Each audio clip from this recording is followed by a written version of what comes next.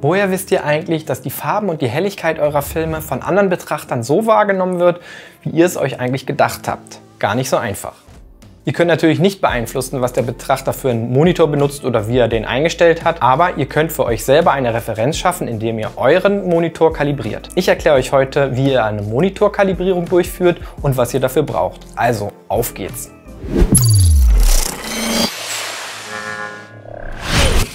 Wie die Monitorkalibrierung funktioniert, ist recht einfach. Wir brauchen erstmal einen Farbkolorimeter, was die Farbe, den Kontrast und die Helligkeit erfassen kann und gleichzeitig das Umgebungslicht an deinem Arbeitsplatz in Betracht zieht. Momentan gibt es da nur einen ernsthaften Hersteller, der seine Modelle auch regelmäßig updatet und das ist Datacolor. Von daher ist die Auswahl jetzt auch nicht so schwierig. Ich habe hier das aktuelle Modell, das ist der Spider X und das ist sein Vorgängermodell, der Spider 5. Funktionieren beide wunderbar. Ihr solltet vielleicht mal gucken, ob ihr den hier nicht irgendwo gebraucht noch im Internet findet. Die nutzen sich nicht unbedingt ab. Wir gehen jetzt mal rüber an den Rechner und da zeige ich euch die Kalibrierung mit dem X-Modell. So, ihr findet die Software der Spider X Pro auf der Datacolor Homepage. Dort könnt ihr euch das runterladen und installieren. Nachdem ihr das installiert habt, startet ihr einfach die Software und dann geht es erstmal zur Registrierung. Ihr müsst dort die Spider X Seriennummer eingeben und die E-Mail und dann wird das registriert. Danach geht es zum eigentlichen Vorgang der Kalibrierung. Ihr müsst, bevor ihr das macht, erstmal mindestens 30 Minuten den Monitor schon angehabt haben. Das heißt, er muss ein bisschen vorwärmen. Und ihr müsst darauf achten, dass ihr eure Umgebungsbeleuchtung nicht zu dunkel und auch nicht zu hell habt. Also wenn ihr so ein Spotlight mitten auf dem Monitor habt, dann funktioniert das nicht gut. Ja, dann machen wir einfach mal weiter. Im nächsten Menü könnt ihr die vorhandene Backlight-Einstellung für euren Monitor auswählen.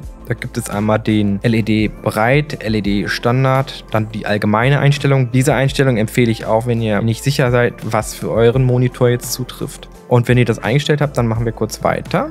Hier könnt ihr jetzt aussuchen, ob ihr eine volle Kalibrierung machen wollt oder einen schon mal kalibrierten Monitor nochmal nachjustieren. Wir machen jetzt hier in diesem Fall mal das Full Cal, also eine vollständige Neukalibrierung des Monitors. Bei diesem Punkt bittet euch das Programm nun, am Monitor die Farbtemperatur einzustellen. Ich mache das mal eben. Wir stellen jetzt hier mal auf 6500 Kelvin um und klicken dann auf Weiter. So, jetzt setzen wir das Gerät auf den Monitor auf, auf die angezeigte Fläche. Jetzt analysiert das Gerät, wie die Umgebungsbeleuchtung ist und macht einen Vorschlag. Den akzeptieren wir jetzt mal hier. Und jetzt fängt das Gerät an, deinen Monitor zu analysieren. Nach einer kurzen Zeit macht er dann eine Pause und bittet dich, die Helligkeit richtig einzustellen. Ihr müsst jetzt versuchen, an eurem Monitor die Helligkeit so einzustellen, dass sie in dem grünen markierten Bereich landet. Das war jetzt ein bisschen zu hoch. Das schrauben wir jetzt mal wieder runter. Nochmal auf Aktualisieren. Ja, das ist schon mal nicht schlecht. Und so passt es perfekt. Wenn das erledigt ist, einfach unten auf Weiter und er macht wieder seine Messungen. Ich spule das mal eben vor.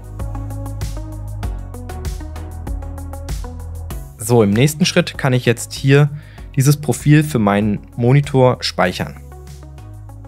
Hier haben wir das Ergebnis.